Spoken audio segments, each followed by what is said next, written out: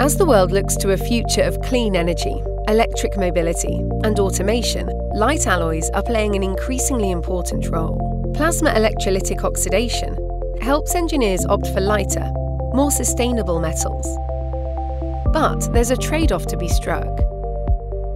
Lighter metals are prone to wear, corrosion, and thermal fatigue.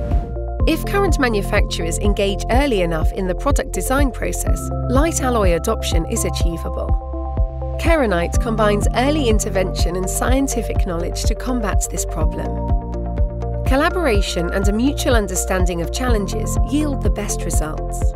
Keronite takes the time to understand your requirements to design a transformative coating specific to your application, using PEO to convert the surface of light alloys into corrosion and wear-resistant ceramic layers.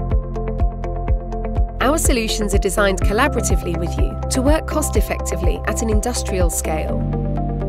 We can guide the design to manufacture the part to increase the life of its components whilst reducing their weight.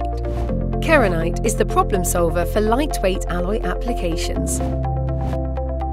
Visit our website to find out more.